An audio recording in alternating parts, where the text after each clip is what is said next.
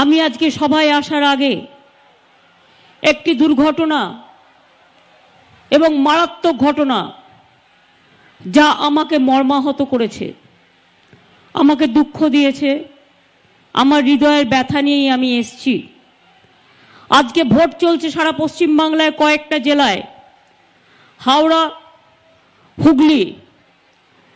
আমাদের ভোট চলছে কুচবিহার জেলায় আলিপুরদুয়ার জেলায়। সিআরপিএফ গুলি চালিয়ে আজকে চারজন মানুষকে মেরে দিয়েছে শীতলকুচিতে। আমি প্রথম দিন থেকে বলে আসছি, সকালেও একজন মারা গেছে, পাঁচজন।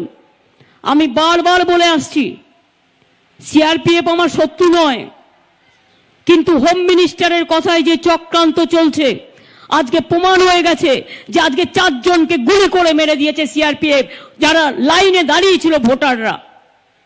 এত উদ্ধত্ত হয় কোথার থেকে? এত অত্যাচার আসে কোথার থেকে?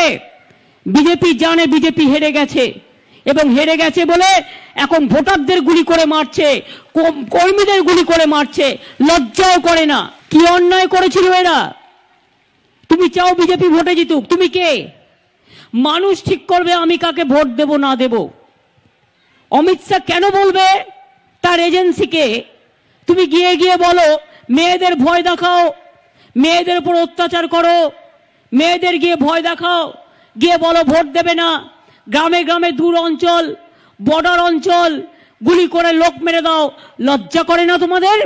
এর বদলা নিতে হবে, এর বদলা একটা করে ভোট, ভোটের বাক্সে, নালে ওদের আত্মার শান্তি হবে না।